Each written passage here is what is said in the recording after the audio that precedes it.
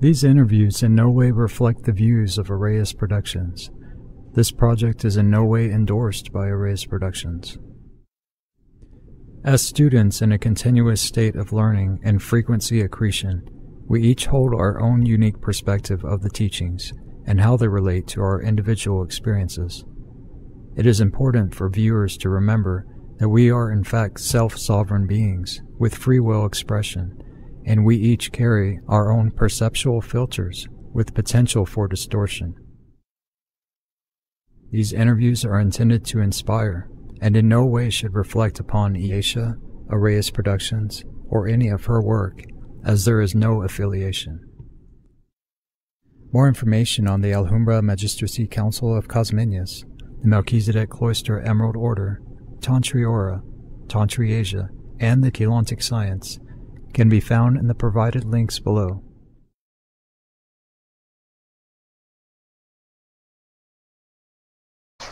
Feeling the frequency there, man.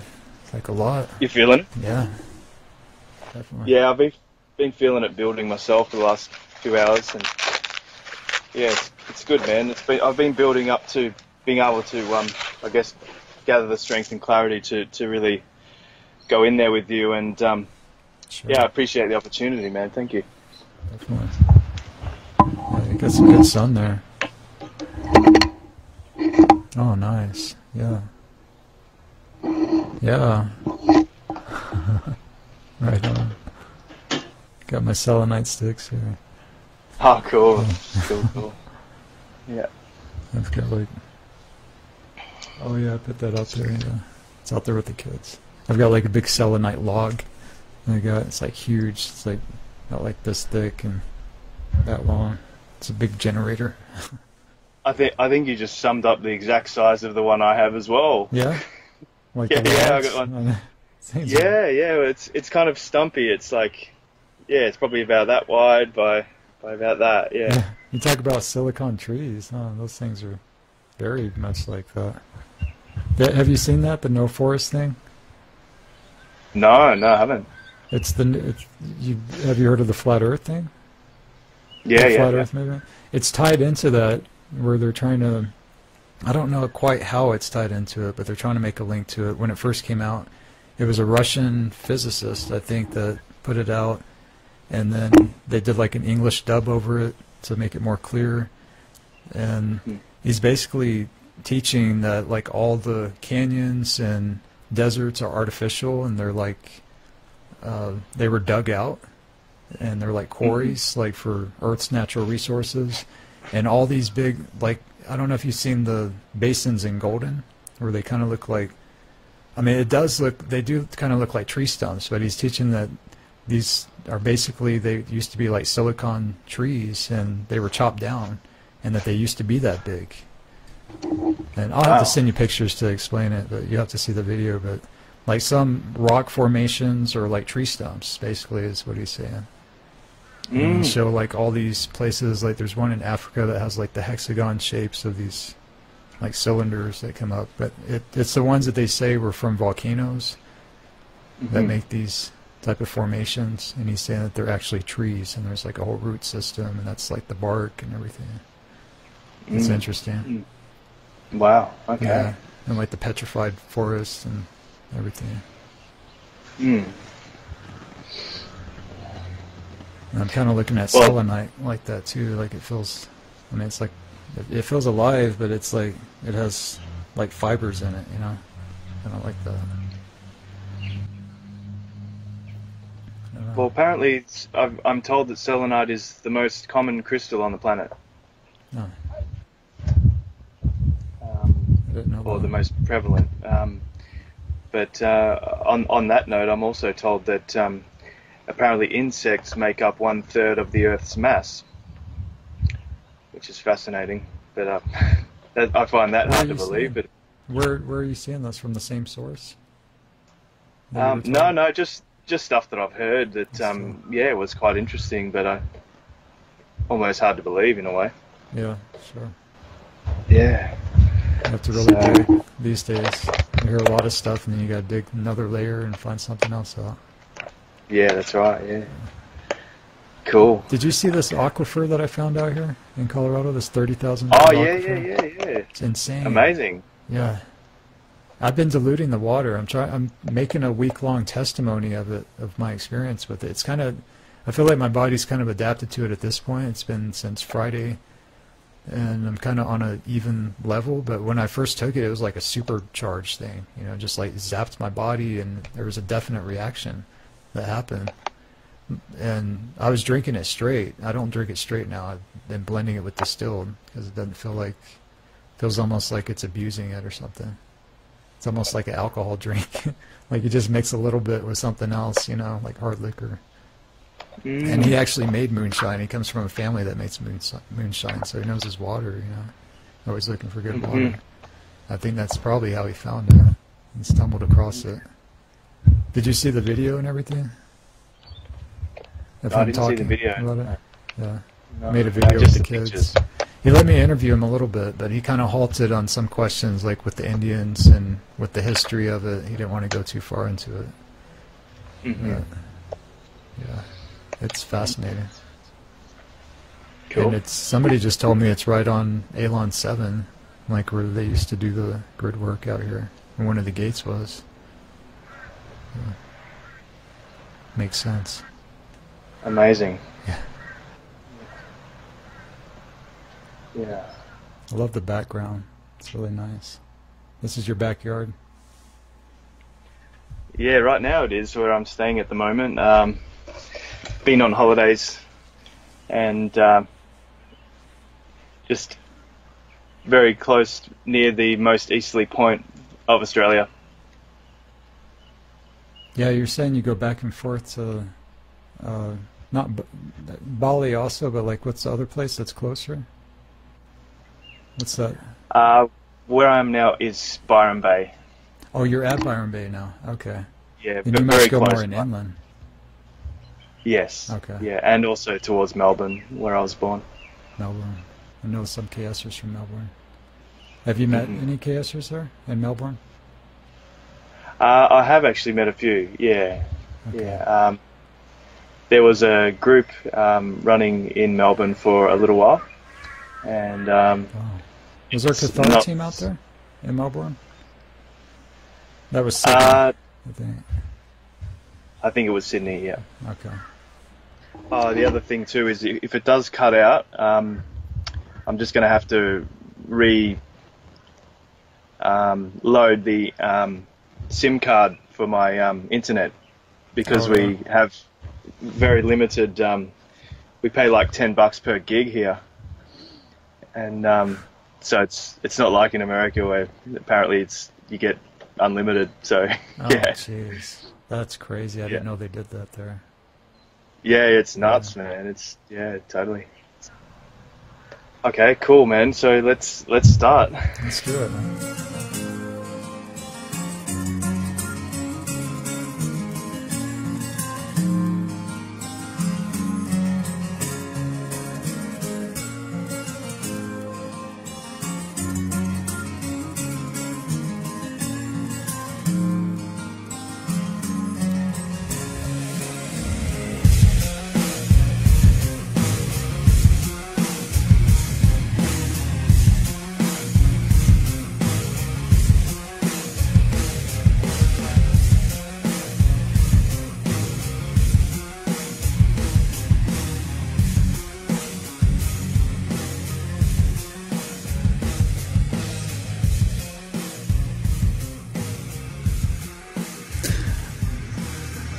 We're back on KS Reality Talks, and we are here with Adam, and he hails from Australia. He has a story to share about the Shield split and how it led him to KS, and he's just going to share some of his experience with that on his end and how it was for him. So go right ahead, Adam.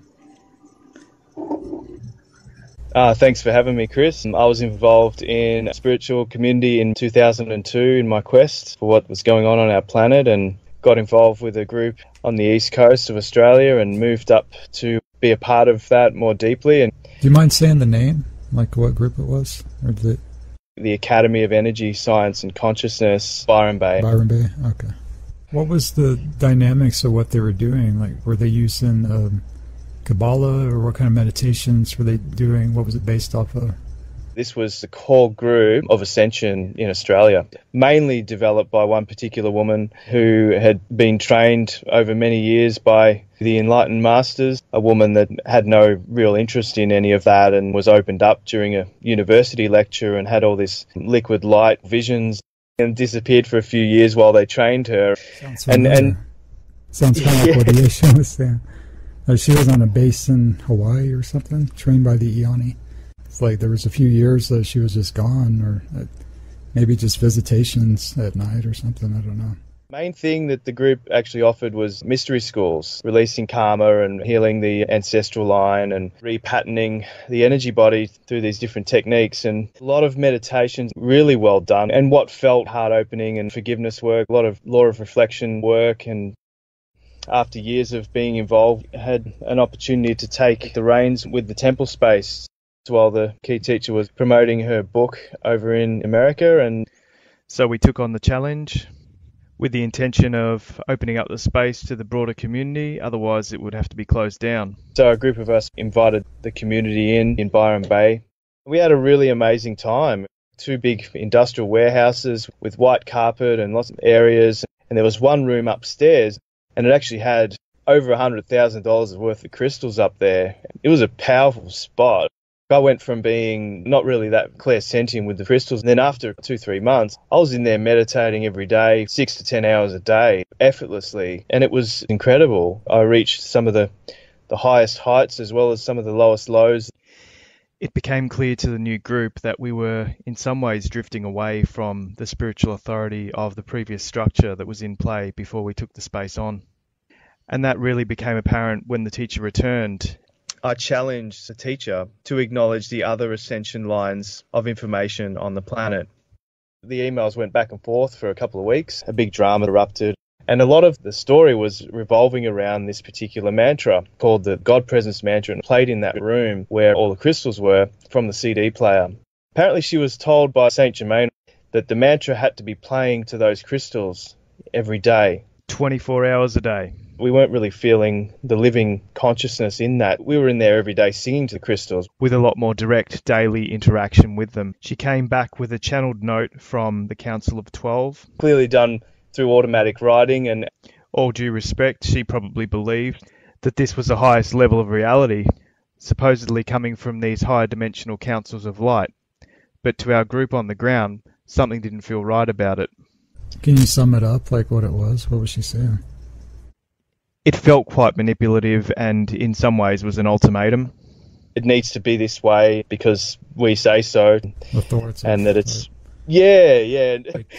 It wasn't a real human level of feeling behind it, like an artificial program. Communicated in that way was just really impersonal. Either we would do it her way, or we'd be cast out of the group heart and never be involved in the Divine University. That's kind of familiar too. Actually. Yeah. this is interesting. Yeah. Okay. yeah this was a group that was generally run mostly by women.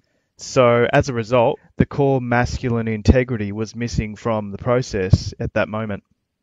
To me, that is reversed masculine energy. And within that week, she came in and gutted the place. She took everything out of there. She even ripped up the white carpet that was in there and just kind of sabotaged all the goodness that was happening. And that put us behind financially. And, and some of that was like volunteer work that people had contributed themselves, I'm sure, right? That it helped and yeah. to me it was kind of a sense that a lot of the, the local community felt that it was finally sort of building something good. And then she and realized that she wasn't able to be the spiritual authority of the place. Then the shit hit the fans. We did keep the place going for um, a period of time. I was probably about six months after that. And um, a lot of the, the stuff that we were doing wasn't financially based agenda, so um, it kept its purity that way, and we weren't able to sustain it financially. So of course it fell apart, and we lost that place. We gained a lot of knowledge through that, and after that is when I got heavily into KS because I was drawn to figure out the reasons behind those distortions and had to find something to explain why it all fell apart.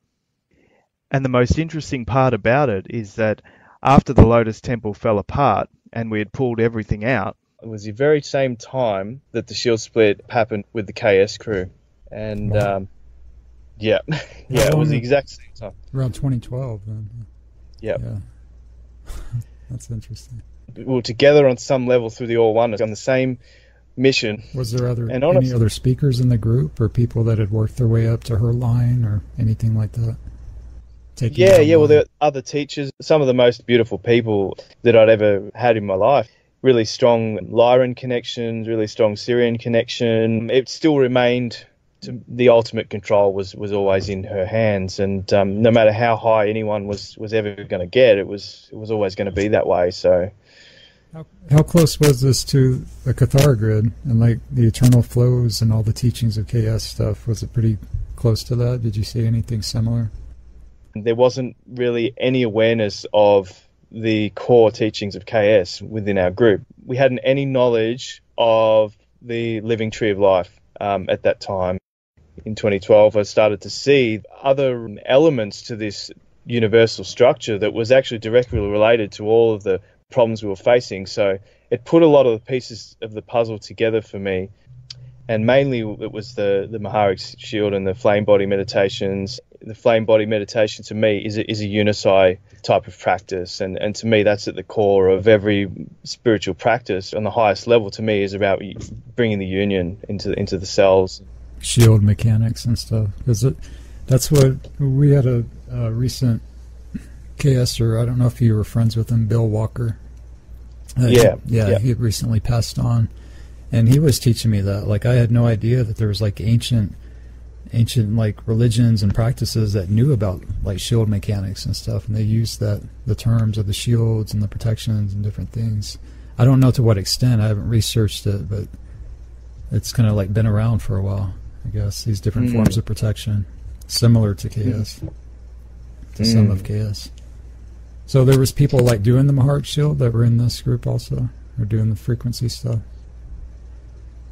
No, no, not that I'm No. aware of. It was really something that I just sort of found personally and had to really get deep into to find out as much as I could about it in the shortest possible time. So I was experiencing plasma body activation before I discovered KS, a result of relating directly with the halls of Amenti through the crystals that I was working with at the time. And it was quite confronting. I didn't really know what the purpose of these frequencies. I just knew what I was feeling. That was probably in about 2010 that I started to experience um, plasma frequencies. And what was the difference? What was the main difference with plasma versus like Maharic, Maharata 12D stuff? When I experience plasma frequencies, it's a very tangible physical experience. And I sense that people experience it differently. But when I was doing the, the Maharic frequencies, it was a really healing time for me and it really connected me into Michael Deane's voice through his sound waves. After the shield split happened, it, it became more challenging to work with that. So after that, like you, you haven't been in resonance like with the like the KS plasmas teachings since after that. You were more in resonance before. definitely in, in resonance with the teachings. It's what I sense with the group shield with KS is that up until the point Ashayana was able to spill the beans, it could have been done in a different way. And what it did for me personally was that it created a lack of trust in that leadership. None of it was the same from that point on. So you honestly feel like there wasn't as many people compromised as what was kind of made out to be, like with the Kathara team, ordinations having to stop, the Fatalithe. Like you didn't really feel resonance of that. Like it was still good. Ah, definitely. It really is the group itself that actually creates um, the potency of, of a group consciousness field. Um, and, and when that group is, is split like that, it's it's kind of like it's no longer in the unisight, it's no longer in in a healed wholeness and, and to me. And it's so, so I think that there's a self-prophesied outcome type things. Yeah, well, when the duality is brought into so strongly based on that trauma, it can evoke a pretty core battle of the sexes type environment. And this is something that can be easily activated and triggered within our collective psyche on the planet at the moment. So this was more like an imbalance of the feminine masculine thing, like where the feminine went out of balance. Is that what you're saying? Definitely, it's easy for anyone who's processing emotional trauma to make irrational decisions that don't serve the higher interests of the group. In many ways, it highlights the humanness. I've perceived that many of the human level perspectives offered by Ashayana Deane are, in my opinion, incomplete and in some ways quite unclear. And we each have our blind spots. Um, I see many blind spots on a human emotional level there. And this has been reflected in my experience with much of the group that I have perceived also carries particular distortions as well, especially in relation to the emotional flows on a human level.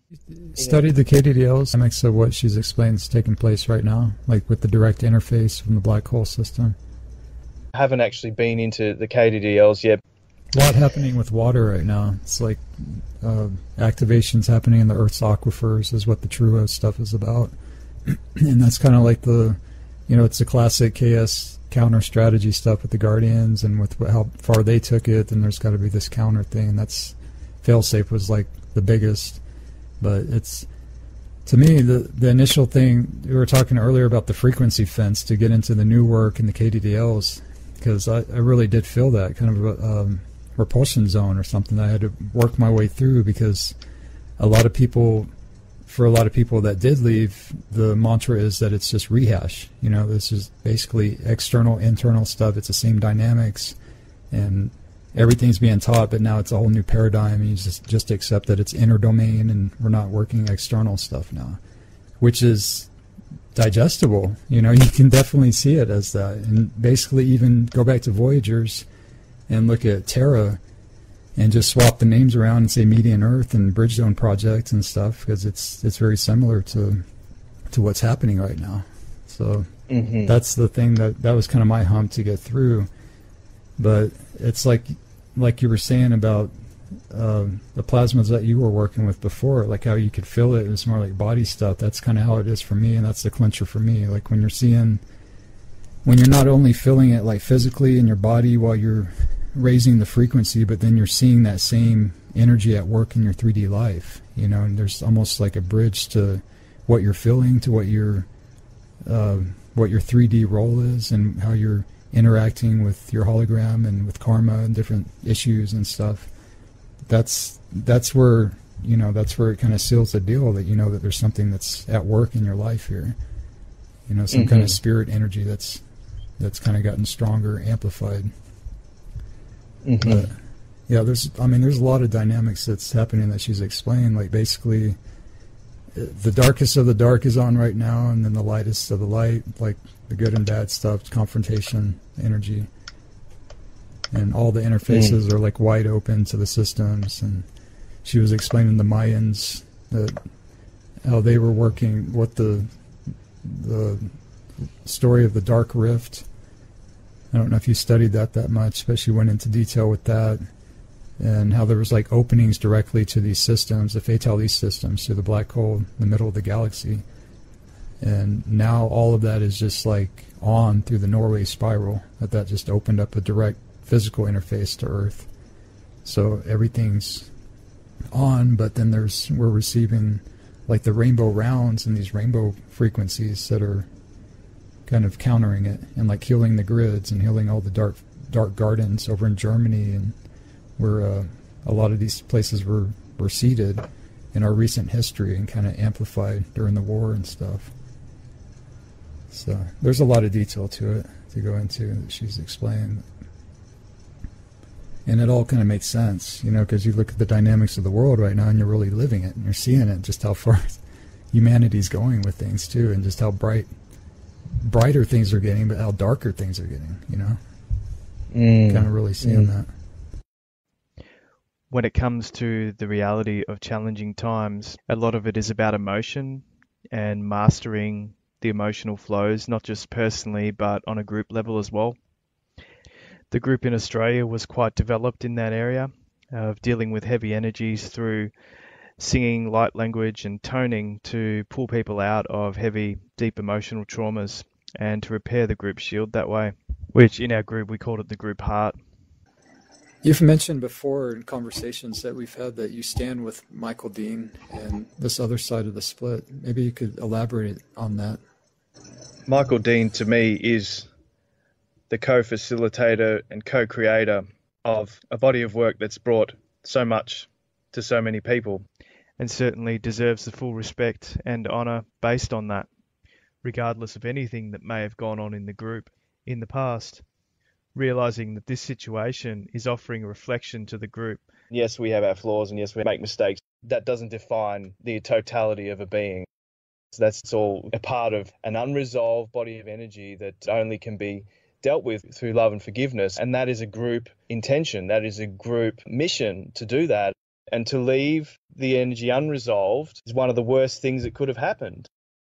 In the spirit right now, like just thinking maybe it could be a two part question. Like, if you're comfortable with elaborating more, what your experiences with Michael Deane before and how personable you got with his energy or part of his aspect of the teachings. Yeah, I certainly felt his heart through the meditations that I did with him, um, and also the true and pure intentions that he put into uh, the work. And did you ever reach out to him personally, contact him after the split or before? I have been chatting to Michael, had some really good resonance with his energy as well.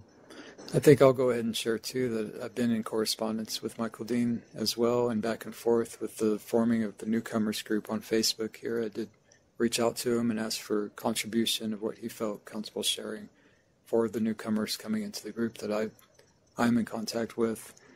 And you know, he's been more than sincere and kind to me in conversation and frequency wise I feel I feel a humble spirit and you know, very open to sharing his side of the story with me, and you know, very good trust that's been established there.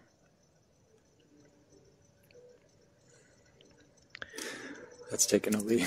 and Put myself out there.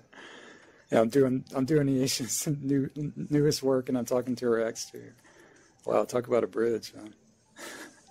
I haven't really. I've yeah, only told well, like a few people that the people that were part of the newcomers group, but make it public could be something different. Oh, it's really healthy to transcend the duality of the drama.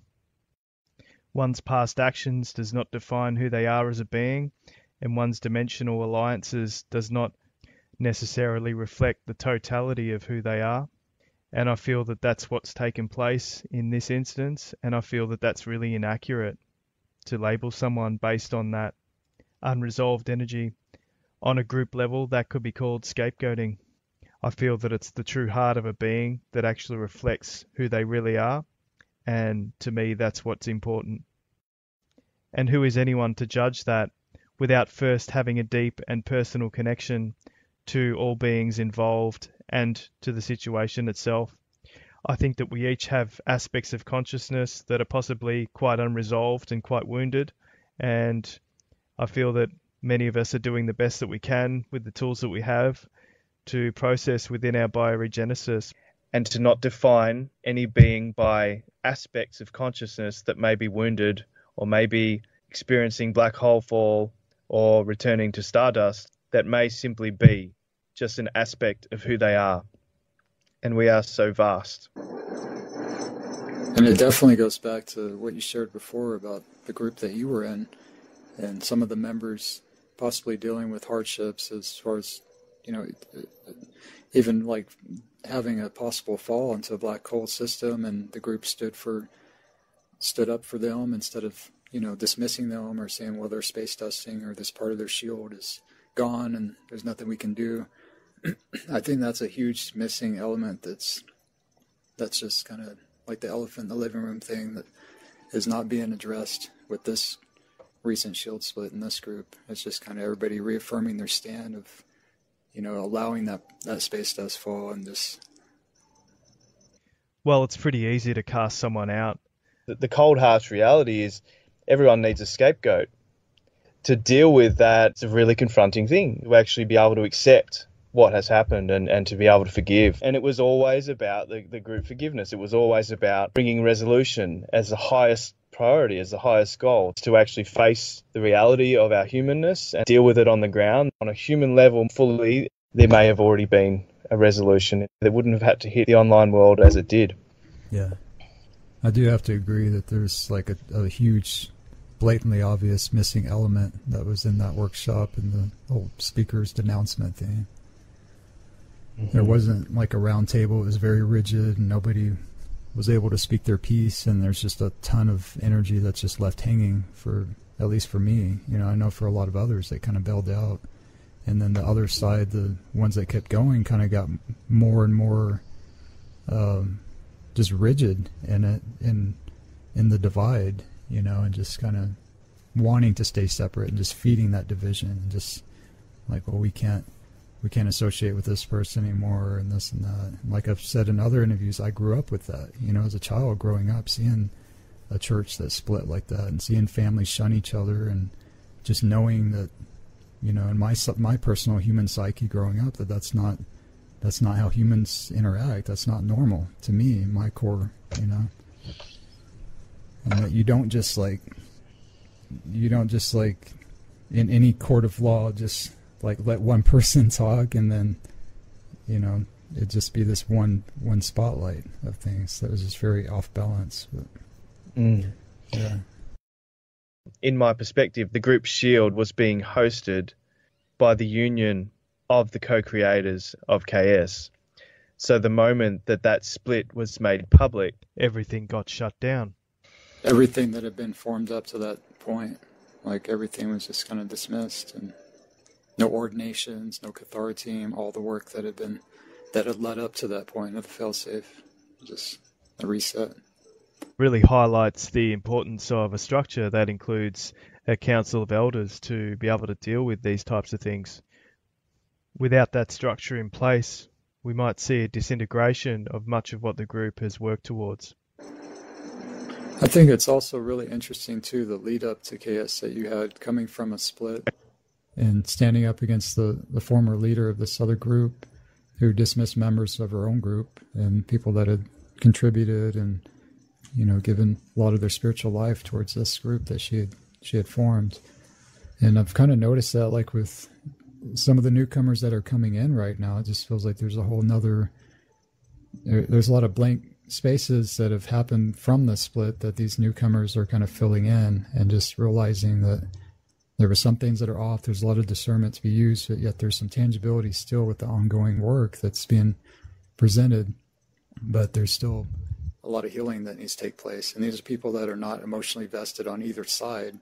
So that gives a, a beautiful perspective, like for somebody to, to look at and more of an authenticity of, of what is what is there, you know, old work, new work stuff, the plasmas and freedom teachings I think that's uh, humanity kind of finds a way in that sense in these different settings where there's like a balance that's reached.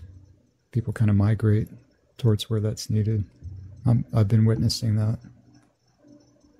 But it's good to have like a, a voice, you know, from somebody who's uh, that's like really up close and personal, like coming right from this split into KS, like, and us having our split, and just like having that awareness and that perspective of seeing this. Like, I've already you've already been through this, you've already seen this and seen the dynamics, and now it's kind of been playing itself out in this group.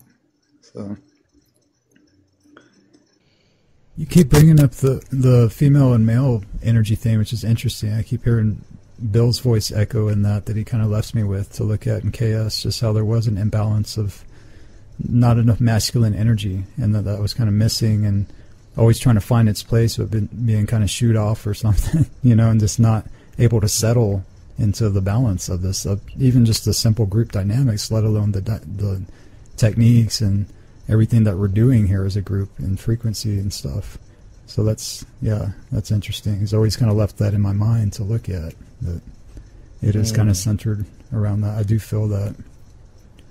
Well, this is to me one of the key elements of ascension is um, balancing the polarities and bringing the union through finding the awareness to see through each other's eyes, for men to find the capacity to see through women's eyes, and vice versa. And this helps to illuminate the blue flame distortions and to bring clarity. Reverse blue flame distortions or reverse masculine is probably one of the major ways that, that humanity's been manipulated into dark corners throughout the ages. And this is no exception. Recognize that a male form being has access to certain electrical currents that generally female being on this planet will have blind spots in those areas. So as we see through each other's eyes, we can actually then put all the pieces together fully and bring the goodness into the human experience again. At the same time, there's this other complication, um, and it was the same thing that brought our group in Byron undone, and the same thing has brought so many groups undone, and that's the impersonal level of communications through emails and through text and through the phone. It lacks the depth of human connection and human wisdom, the higher intelligence of human level of connection. The Keylontic Dictionary speaks about the primal purpose of the human is ascension, and ascension is directly related to the primal purpose, instinct, higher senses and instinct are deeply related and deeply connected. To eat, to dance, to sing, to love are all part of that, all related to sexuality, the union within one's own body. Definitely. And you have a method that you wanted to share with us on with music and balancing the energy using music. Could you share that with us? In my process, I've been accessing different experiments around using music, using sound to harmonize and clear energy fields. Had quite a few experiences with holding group sound healings, and similar to the work that what a DJ would do, holding a space, um, that space and that intention can be used for healing purposes. So to harmonize and balance and like hold a neutral space, you have hold to a standing wave. It. You like attune to it, and then you blend your own frequency with it. Is it that type of thing? You use it as a barometer until you feel clear of it and you're done with it. Oh, like, I see. Okay. Yeah. Yeah, yeah. So if you have a strong reaction like to a, a, particular um, frequency of, of music, which is accessing the whole brain. So I think that's why music works so well, is because you can go in and completely journey right through that song line and right through that frequency spectrum until you don't feel any connection to it anymore. You can use it as a clearing tool. That's an interesting technique. So, like, whatever darkness you're about to go through, you take it a deeper shade of darkness beforehand so you can walk through that darkness a little easier, type thing. Is that explaining it well? Yeah, well, uh, that's that's a pretty good summary. If you feel disempowered and you don't have access to that realm, then you go in there to actually find the information of how to relate to that on, on that human level. And any being that's opening their heart to sing a song, no matter if it's death metal, no matter if it's the most beautiful classical music, hate lyrics, rap, yeah, yeah, it's like women. Absolutely, yeah. All part of, of the all oneness of the living beings that are sharing their story, sharing their message, well, sharing gotta, their pains. I got to interject right there. That's kind of where it, KS has taken a different turn right now. It's in the teaching, the current teachings is that everybody, and I see this in the group too, and I think that's why everybody's kind of been comfortable being divided, is because that's actually what's being taught, is that there is going to be separation points of these things and levels of resonance where you're just not going to resonate with that anymore. And that's been coming up more for me too, like in the thread and because there's a huge push for World War III right now, it just feels like we're right back in the 80s Cold War vibe or something with Russia, and all of a sudden, you know, nukes and all this, and it's just, it's already been replayed. But getting back to the point, it's like that's that's kind of the direction that the new stuff is going in is that there really will be breakoff points, and there won't be any amount of resonance left to associate with some of these things. I mean, do you feel anything with that, like in the future, or anything happening with that? That's really accurate and definitely on the right track. Being able to relate on an inner being level rather than necessarily on an outer being level, so that you can actually see clearly, at least feel and see the message of what is occurring fully. Um, but not being aligned to it, like witnessing it, seeing it, but not being in alignment with it, right? Absolutely, yeah. yeah it's, it's, just ignore it and just pretend it away stuff. Yeah, go into la la well, land. That was so much the, the basis of the Metatronic program that I was a part of. These crew that I was involved with didn't even acknowledge the reality of the fallen angels at all. Yeah, it was all just completely oblivious, and and it was wishful thinking, and it was a sense yeah. of um, of that it's all part of the divine reflection and that everything that happens, you've attracted it, and you need to go in and clear it with the enlightened masters, and that, that's that's the end of it. Right. but at the same, yeah denial program Yeah. that um, Man, so much I'm remembering now, like the connection that, that we made on the Skype. We were up for like all night. It was like eight hours or something. The, the Skype call that we had, and I'm just I'm going back to that because it really harkens this mantra that was given to me. That's really really dark, but yet I still hang on to it. It's sitting right in front of me actually, and I, I'm always contemplating what the understanding of this because it's a it's a Tibetan mantra, and it's the teachings of evil spirits and the purpose of this and what the balance and everything, but yet not. I don't want to go as far as say, well, maybe maybe I could say like even a respect for it, and un, because if you understand it, you understand the dark. There is kind of a respect for that, you know, and you know its place, and you see it, and you're able to stand it. You don't have to be in alignment with it, but there's an understanding of it and an acknowledgement of it. And if you're not acknowledging these things, it's just kind of it, it's still there. You know, we still share the same error here. it's just there's a lot like there's a very similar um, way of of thinking that I can relate to with that with this mantra. I used it during some of the most incredible times of my life, like the experience that I had with the future self thing. I was very active with this also, so I know that there's a huge part of of that understanding that's relevant. You know, that's still relevant in my life to see it. But then there's like the balance with it too. The real big nutshell here is like that the planet carries the failsafe codes, which is gonna the solar system's not going with it, the galaxy's not going with it. Parts of um, uh, what is it? I'm trying to remember uh, if it's Orion or another system that's close around that is like there's these little hub points here and there that carry the same codes that are kind of going too, but basically the majority of our environment is not ascending. So even that alone, that mentality of thinking that way, that and also the planet itself is is sifting off the things that are not in resonance with with itself. So that would kind of lead up to an expectation of seeing seeing these break off points of civilizations and people and almost like an expectancy of you know of course the 900 years thing of how this is going to play out but still it's still there that's what's being taught and that's the dynamics i mean do you feel resonance with that or do you feel like we're all going? In the whole solar system the galaxy or how do you feel?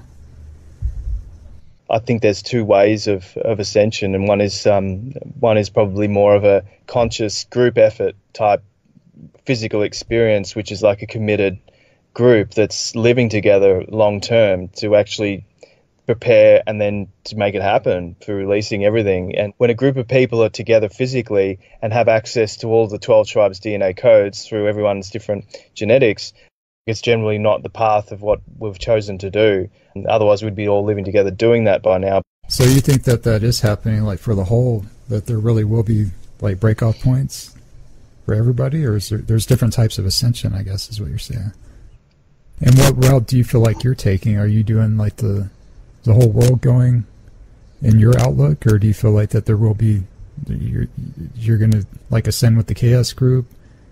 I mean is it just the KS group or people in resonance with the plasmas that might not even know about the dynamics or anything? They're just going to find themselves ascending and all these other groups going into their fatality systems and i mean how far does that go for you personally? No, I think only time will tell.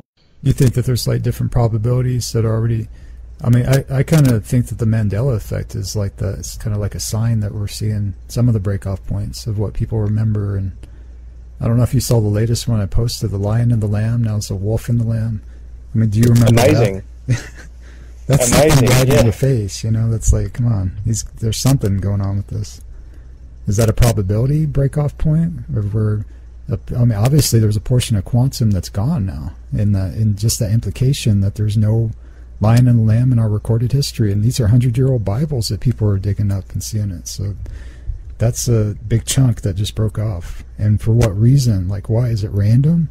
That doesn't make any sense. How would that sway the the human psyche that much? There's no wolves over there in the when the Bible was written around around that time. There's no symbology of that. It's more like native symbolic here American stuff, you know, with our Indians, but Mm. you don't really hear it as much over there and like in the Bible. so, and there's a lot of them. There's tons of these Mandela things that are popping up.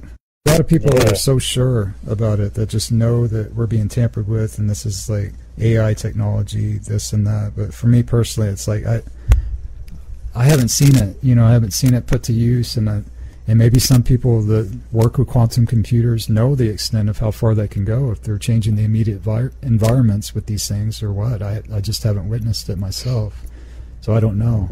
I mean, for all I know, it could just be a simple side effect of, you know, the end of the the stellar activation cycle or something that we're just seeing these little splits here and there.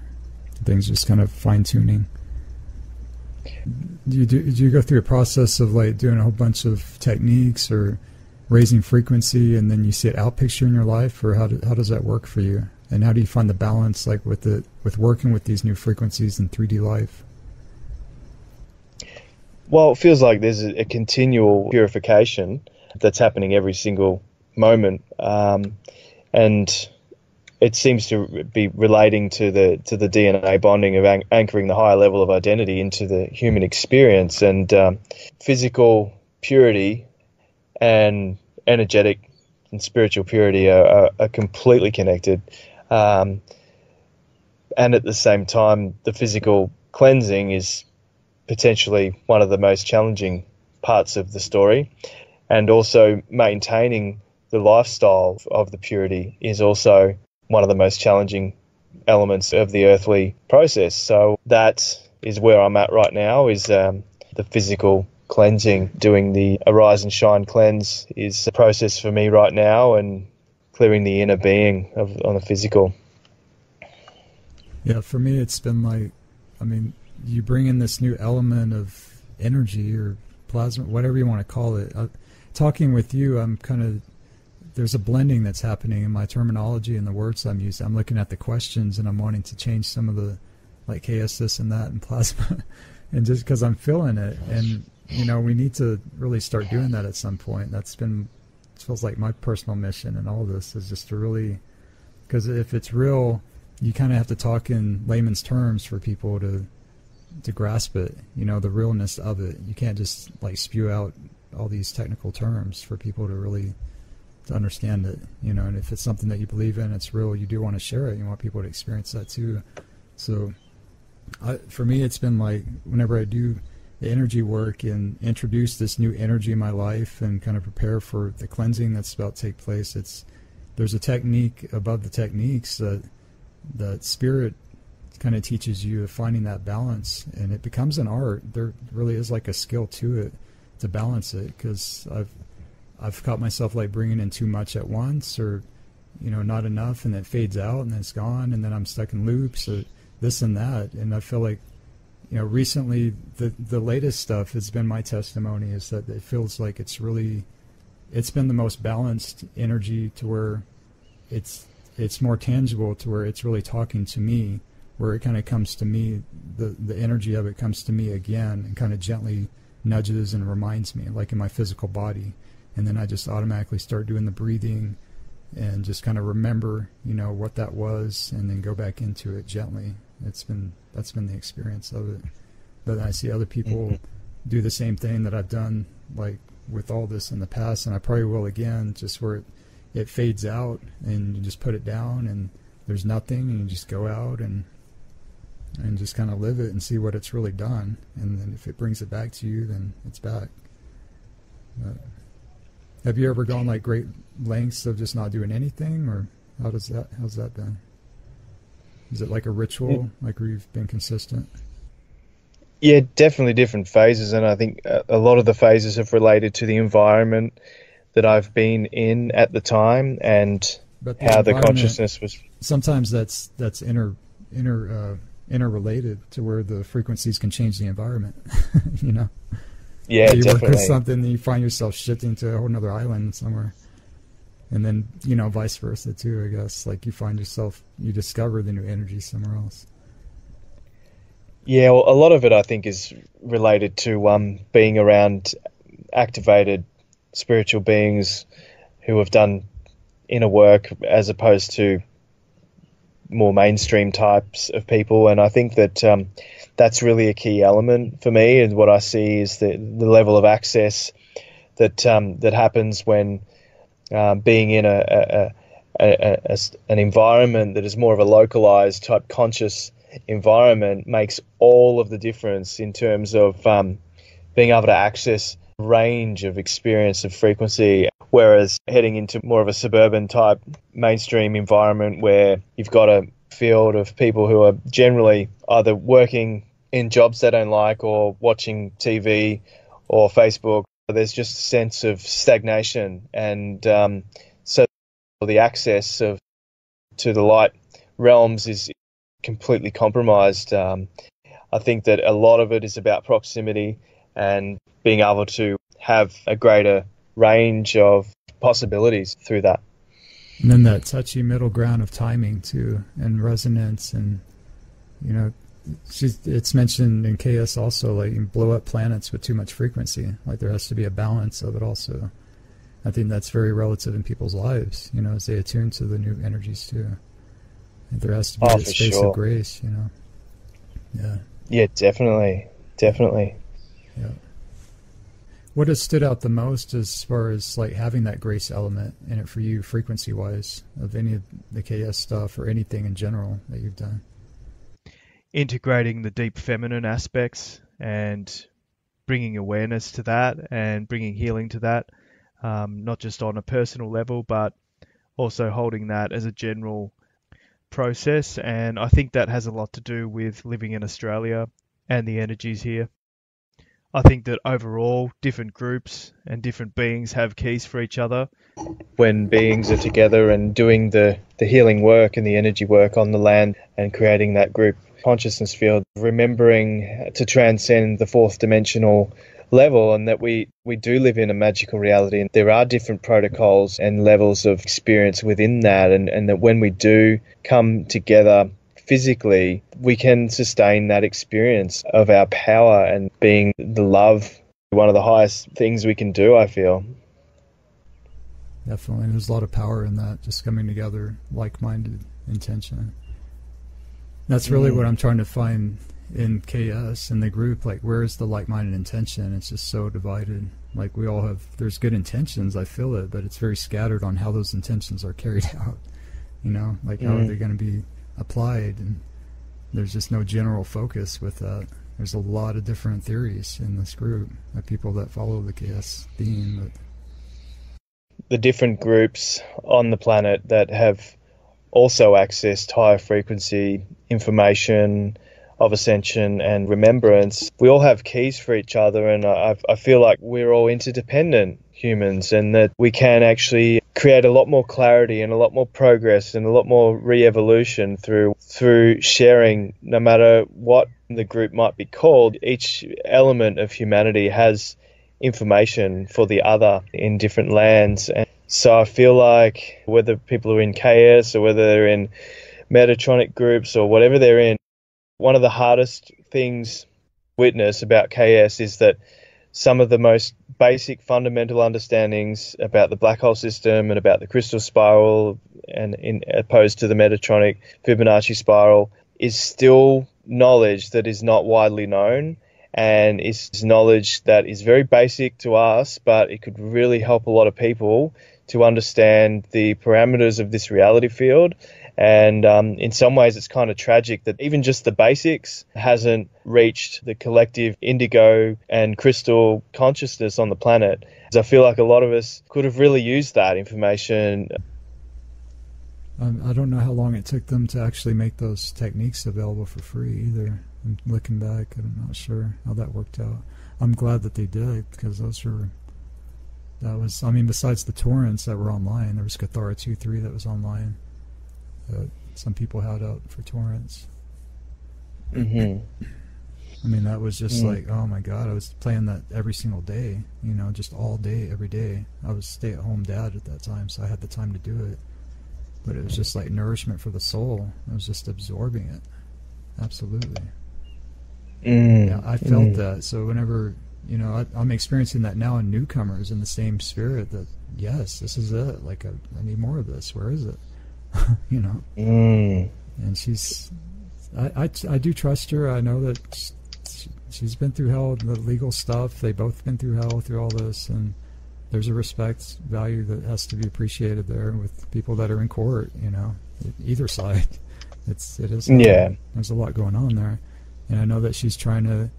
She's dedicated to her line, which we all absolutely appreciate. That she's bringing in this new information. It's I think it's essential right now to help us better ground and understand what these frequencies are actually doing. That's been helping me with the, the have gradually, but it's just like it's a huge leap because I'm I'm riding the boat with a lot of newcomers and people that are still on the other side, just kind of on the sidelines, hesitant and looking at this, and I feel them, and I want to stay neutral with that, you know, and in that understanding. And it's like you said, not just like ignore it away. And I just I don't believe in that at all. That's not anything to do with our human spirit, with what's gotten us mm. this far to persevere through all that we've been through. You know, we look out for each other. That's, mm. that's instilled. In these Western countries, there are many Christian subcurrents that have created a base foundation of a lot of the ways that people relate to each other and to spirituality. And the tendency to give power away to a spiritual authority is part of the program running on a subconscious level. And the thing I think to remember is that, that a speaker is a speaker and not necessarily a spiritual leader because we all have our human levels to deal with, and that there are all types of different beings with many missing links and keys. But it's only when we look in the right place that the environment will always provide when there is a cohesive structure. When things are fragmented and there's fractionation within the group, all of a sudden the information streams that come through the whole group um, aren't accessible as much anymore. So um, that's what we're dealing with. Well, she's she's made the promise that she's going to make the freedom teachings free and available, like even all the sliders and everything. It's just a matter of, you know, her priorities and, you know, with her being the main, the main root and founder. Excuse me. I have to. Res- I find myself respecting that. You know that she is the core founder of this work and what she's brought down in Density One, and you know, so I kind of have to move aside my ego and other thoughts that I see people in conversations that I've had with people and just find a, a respect for that that this is her priority and I, I I really do trust that. I can't speak for her or this work or where it needs to go. You know from from somebody that's brought it for us here that's done that there's an acknowledgement for me of that. And I think that's kind mm. of that is a dividing point for a lot of people, a lot of different factions surrounding KS, like the Lisa Renee group and Avalon and all these these breakaway groups that have decided to take the KS material and kind of adopt it, make a few twists and turns, resell it, you know, and make businesses some to some extent. Some of them.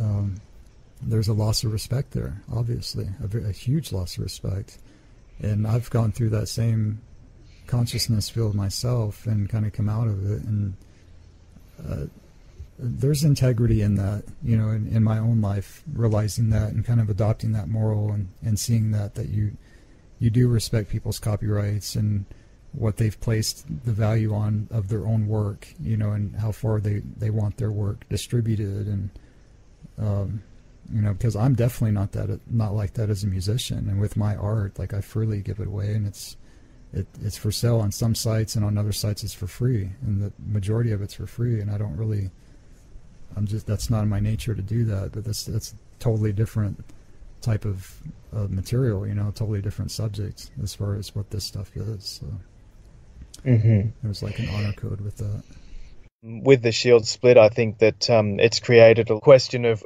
where to from here and how do we deal with this now and almost a sense of nowhere to go and that program is a result of not having the proximity and the access to the leader because the human requires access to the leadership at all times to be able to process it and heal and shaman. and deal with the shaman the shaman has to be present you know yeah yeah so with the, Exactly. When that isn't available, people are left with nothing else to do but to form their own way of dealing with it. And yeah, the purity and the integrity of it. Uh, well, for me, it's been like, how do you how do you trust these other villages that start up with these other shamans that are trying to, you know, use this work in the name of and and apply their own touch to it and their own colors and there's different extents to that. I mean, there's some people that are sincere doing it, and there's people not so sincere doing it and profiting, and which is very blatant in your face. That that's not right. That's absolute plagiarism in my mm-hmm. eyes. That's my opinion.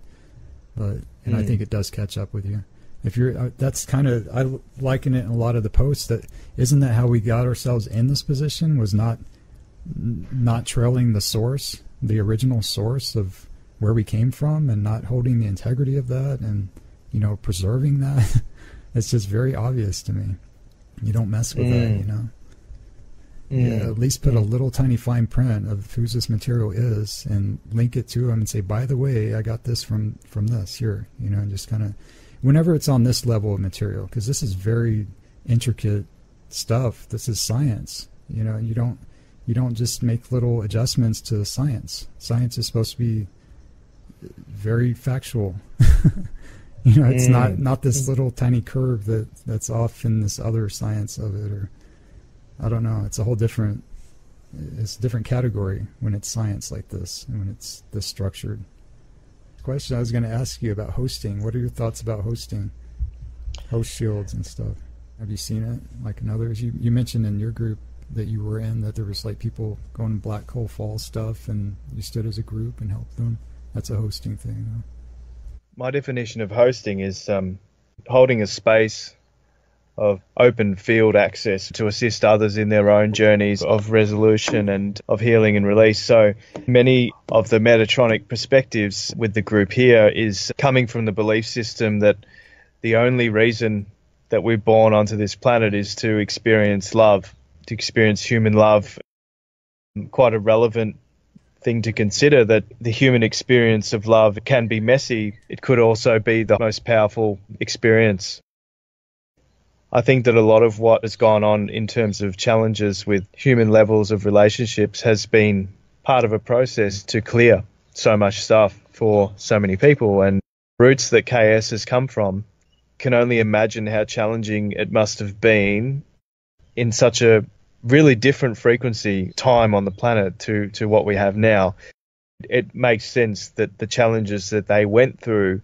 Are you seeing it that much on the planet, like right now? Groups that are like amnesty stuff and.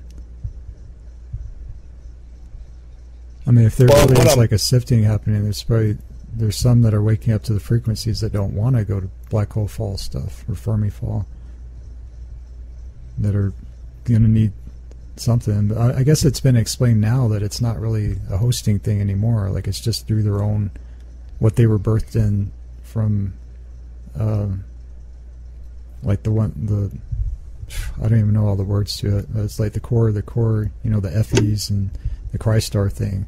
That everybody here basically carries that encryption and what they birthed in before they made all these choices of what families are going to be in or do this and that and that's the level of template that we're of the plasma template stuff that is being lifted right now through the failsafe and through the earth. So it's not really a hosting thing. It's they're getting themselves out through their own through their own material, through their own stuff that they they carry inherently. That's like how holy the frequencies that coming in are. It's just like that's how close to God stuff it is. So that kind of rolls out hosting, but you still kind of see it. I mean, obviously, people need help to wake up to the dynamics of what's happening around them in their bodies and fallen for so long. Some of them and being accustomed to ways. But speaking of food, have you been noticing that, like in diet, any changes of stuff that you can and cannot eat now, like different velocities? Yeah, I'm not able to eat any meat. Um, to eat the animal that's had its head yeah. cut off is just not part of the innocence program for me. You wouldn't as much do it yourself, so you're not going to eat meat by somebody else that's done that, right? Sure. Yeah. Yeah. Gotcha. Well, it's hypocrite eating stuff. that's what was interesting about Kimmy's interview because she's she's noticing she does do the homestead thing. She's got pigs and donkeys, chickens, everything and she's noticing that she eats eats less meat as she does the butchering herself. You know, and she does all the preparation, and that you don't you kind of don't want to eat as much after you do that. And there's more. There's definitely more respect. You know. And I had that growing up with the, even with chickens. Like my dad had this old tree stump and the hatchet, the bloody tree stump. Cut the chickens' heads off, and mom would boil the chicken, defeather, and all this, and there there was more of an appreciation. You saw the whole process. It wasn't just go down to the store and buy this piece of food stuff. You know, you really knew mm-hmm. the nitty gritty of what was going on there, what was happening, and how how we that's that primal stuff you were talking about earlier, and that's so much of that's mm. being deleted around us, and we still live with it, and we're just not acknowledging it because we just go to manufacture store bought stuff and not seeing the process, and we're still just chowing down McDonald's mm. stuff, you know. That's got to affect our psyche, some level. Definitely, yeah. absolutely. For anyone who hasn't done the uh, mucoid plaque cleanse, there's there's so much held within the um, intestinal tract that's um, potentially been there for, for so many years that is highly recommended to be cleansed out. And um, that's what yeah, I'm scrubbing part of right the, now. I'm doing the bentonite uh, clay and psyllium husk thing right now, just scrubbing it out. It's been just oh, okay. years, you know in kombucha. Have you done kombucha? Yes. Yeah, yes. Well, there's there's an. Yeah. I'm I'm fermenting it, making batches of it like every week. Drink it down, but drinking it all evening. It's delicious. This guy, Dr. Anderson, that spent 20 years developing this um, particular cleanse, and there's a story of big vats of milk and eating onions for a whole weekend to try and chase parasites out of his body. Oh god, it's brutal. Yeah, so he, he developed this this cleanse called the Arise and Shine cleanse, and that's one of the fast track ways to cleanse the mucoid plaque yeah, from the body and mucoids. Yeah.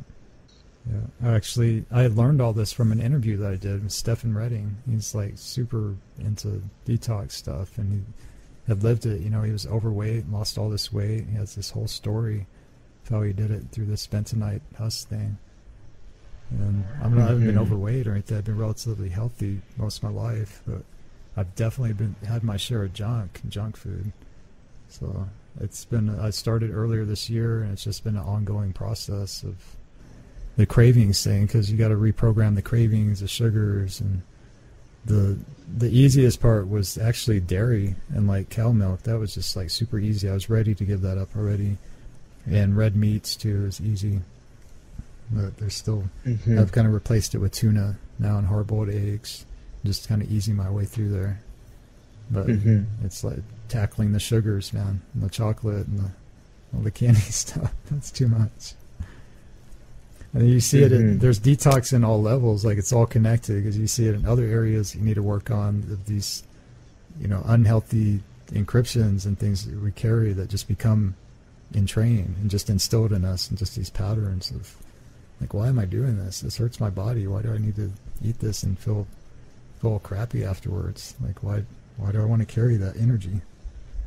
Take things in yeah. that I know is poisonous. And I've seen that like in relationships, like just taking in the poison, taking in the poison, and just keep making these decisions of. It's yeah, it goes deep. it's like psyche mm. thing. Food is very interrelated, I think. Have you experienced that, like with food in the past, like just seeing how it's related?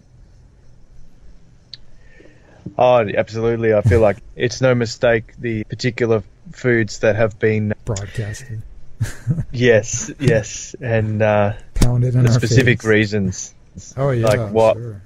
behind why particular things have become mainstream regular foods, and yeah. I feel like there is State. complete strategy the reasoning behind why, and um, to step out of it and come back to a much more simple and a lot cleaner type of a diet is really beneficial for the psyche, definitely. Yeah.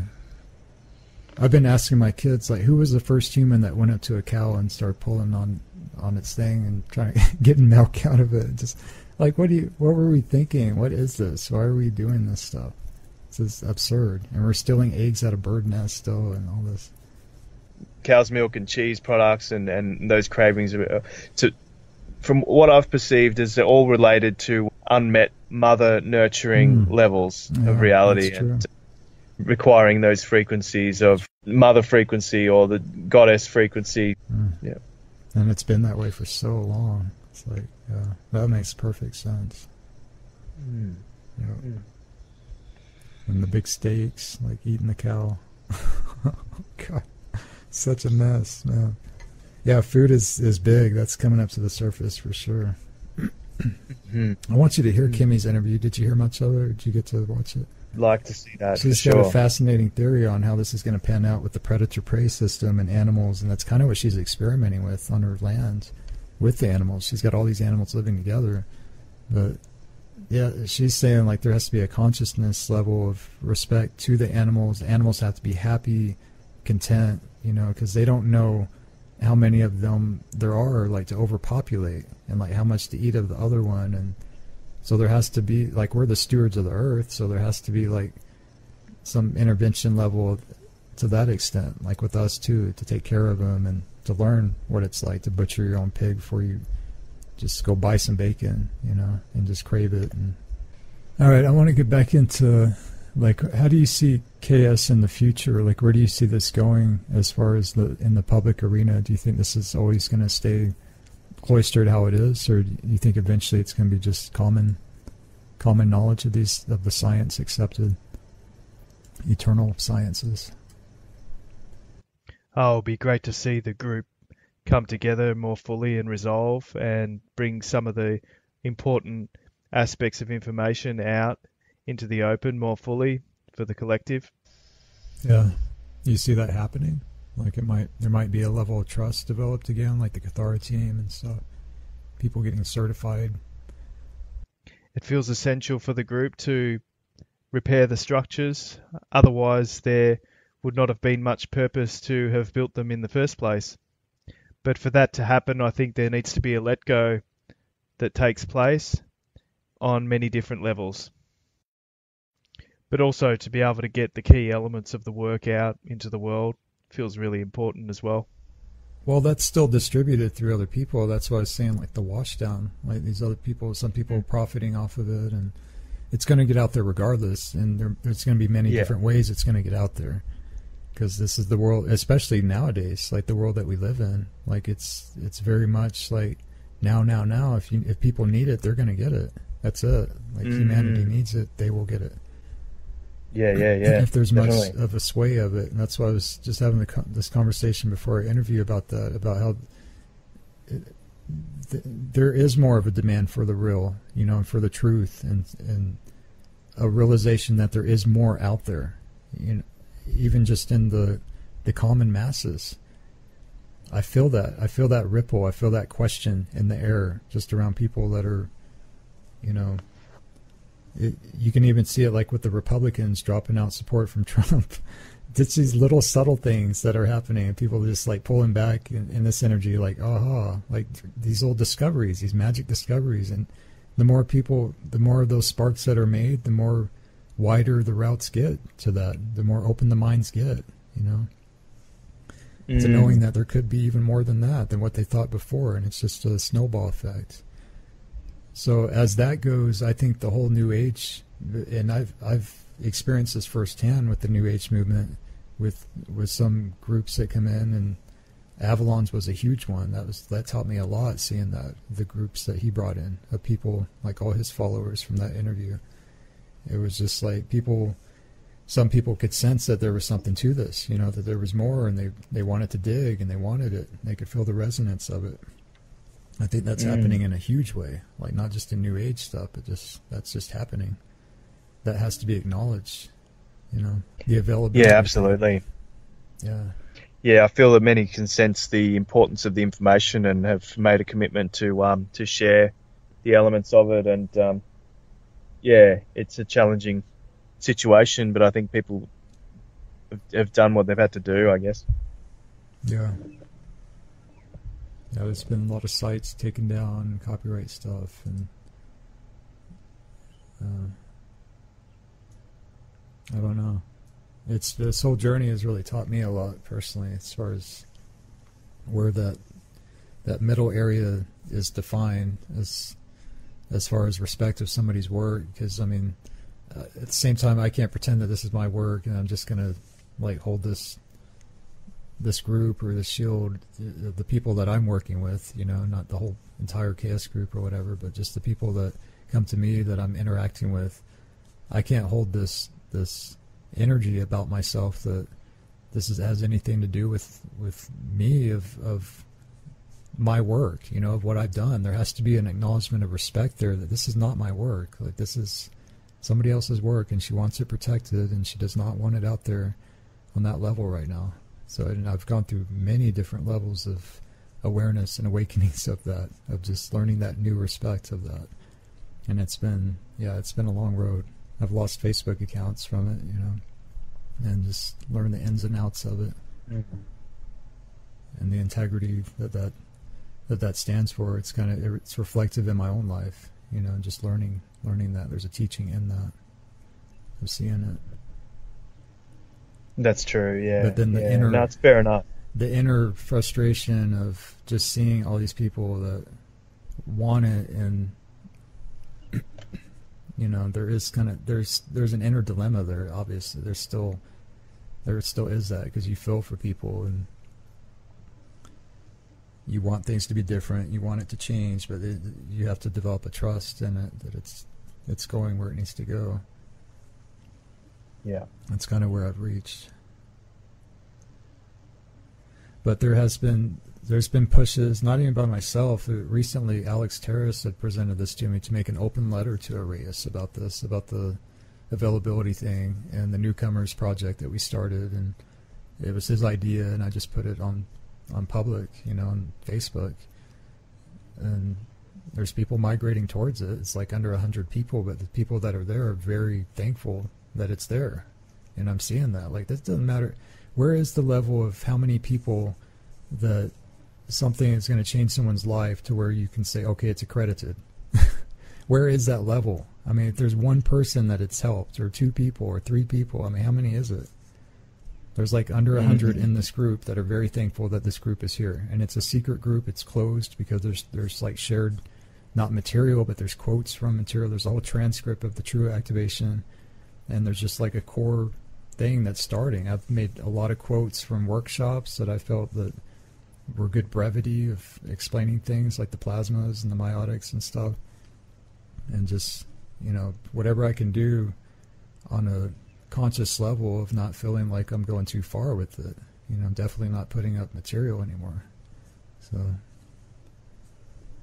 but when you're like witnessing the supply and demand thing, and it's right there in your face, it can be overwhelming. It really can and I've kind of given up on reaching out to them. That's why there's not much momentum in this letter. I'm not lending myself too much towards it because I've already reached out to them before. And, mm. and a lot, of, I've seen a lot of people that have, and there's no response. Even Kimmy, who is running the KRP list, like she's like the official handling the Krystal River prayer, prayer list during that time, the email group that was you know endorsed, and this is the KS group and everything. Like she never heard back from them and she's already in the group. She's already doing the work, like for them. So, well, there's responsibilities, there's privileges, and there's priorities, and maybe that's the thread of how this is also unfolding with the line of information that's that she's taking, because obviously there's a deep resound like commitment towards her line through all of this, through everything that she's endured. Like she has not in my eyes, in my humble opinion, like she has not wavered from her line one second in all of this. Like she's sacrificed a ton, and very obviously that she sacrificed her 3D life, you know, for her line of what she's doing. I, I feel that, you know, I feel the integrity in that. So I, I really feel that there's a continuity of, of these three things of the responsibility of her taking this line, you know, of her commitment towards that, and there's also you put that as, alongside the privileges, which this it's kind of hard to swallow. But I'm just easing into this of seeing like, well, how it shouldn't even be considered a privilege. Like everybody should have this. Is not that doesn't make sense with any of this. But I'm trying to I'm still putting it together.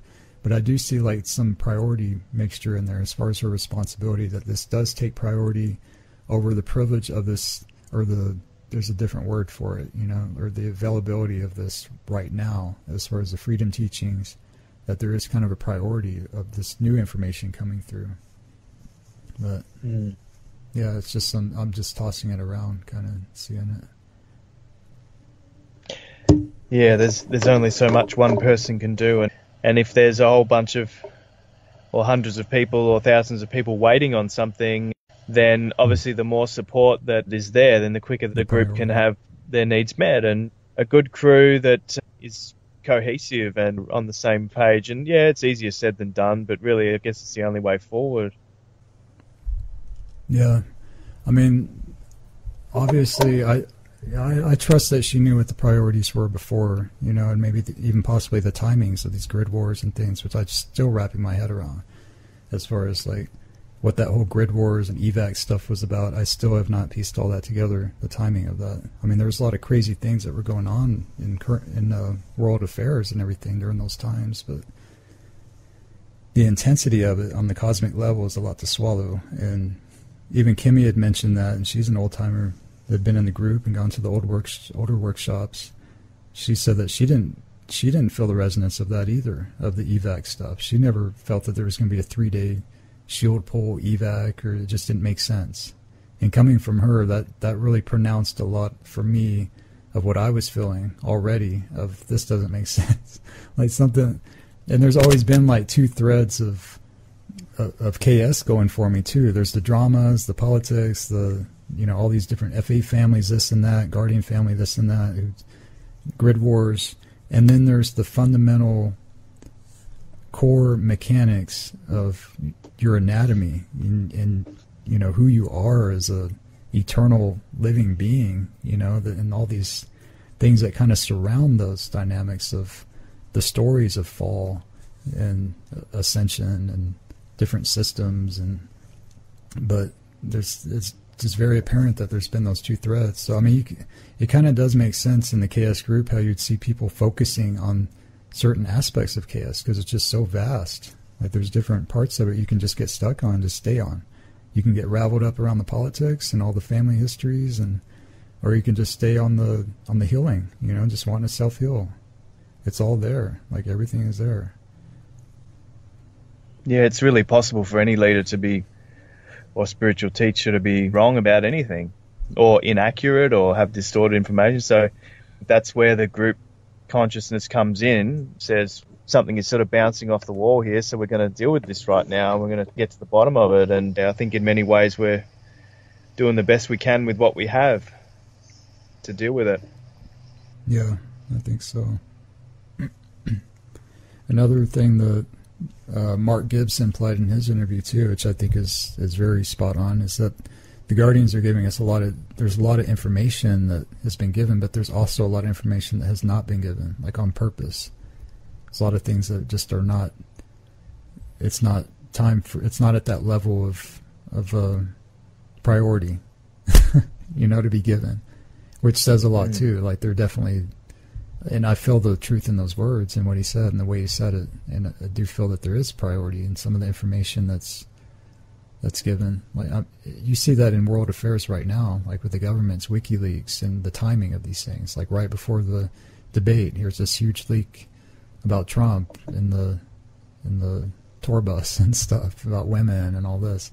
I mean, there's definitely a priority of timing in energies and stuff around us and our environment not saying that that's like I mean that's obviously irrelevant type of attempt, you know, propaganda stuff what they're doing, but I think it works.